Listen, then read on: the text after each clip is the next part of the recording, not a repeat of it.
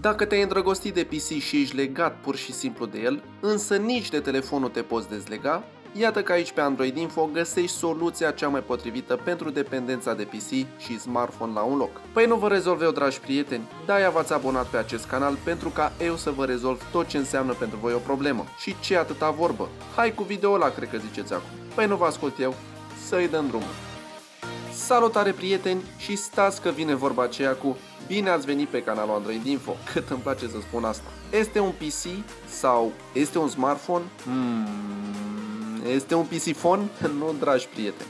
Este un smartphone ce seamănă foarte bine cu sistemul de operare Windows 10 de pe un PC. Pentru a face și voi acest lucru este atât gratuit cât și foarte simplu cu o aplicație sau launcher, cum vreți voi să-i spuneți, numită Computer Launcher și se poate activa dintr-o singură mișcare. Doar intri pe aplicație și atâta tot. Rulezi un Windows pe Android doar dintr-un singur pas. Avem iconițele de la Windows pe desktop,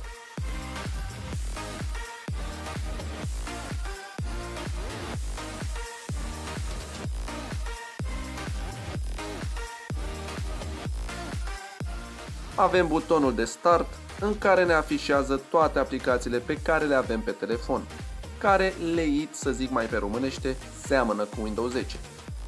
Credeți că asta este tot? Abia am început. Ne putem denumi device-ul cum dorim noi. Să scriem acum Android Info. Hmm? Foarte tare. Să trecem mai departe cu taskbar-ul, care avem iconița de mesaje, de apeluri, browserul, aplicațiile recente, dar stați fără griji. Putem pune orice aplicație în taskbar. Să luăm un exemplu Shazam. Mai putem chiar șterge din ele. Luăm cam exemplu folderul cu aplicații recente. Gata am făcut loc pentru o altă aplicație. Să trecem mai departe cu săgeata aceasta micuță. Hmm? Seamănă? Seamănă foarte bine cu a unui laptop. Dar acest pătrățel după ceas arată foarte bine, nu? Avem butonul de Airplane, de Wi-Fi, Bluetooth, Flash, Auto, datele mobile, rotire, Kill Task, care îți închide aplicațiile ce rulează pe fundalul telefonului și ultima este locația.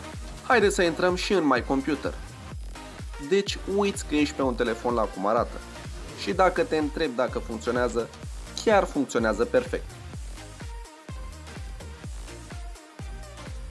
Putem crea foldere. Să vă arăt un exemplu. Aveți iconița New Folder aici sus. Denumim folderul cu probă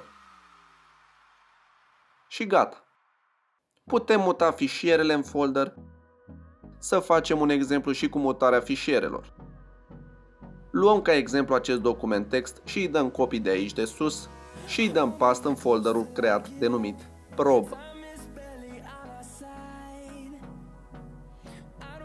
foarte simplu. Este că? Asta am zis și eu când am încercat-o. Așa că pentru restul am să vă las pe voi să umblați pentru a nu vă strica toată plăcerea de a fi surprins de respectivele lucruri din această aplicație. Nu uitați să mă susțineți cu un like și un share la acest canal de YouTube. La revedere! Till my shadow turns to sun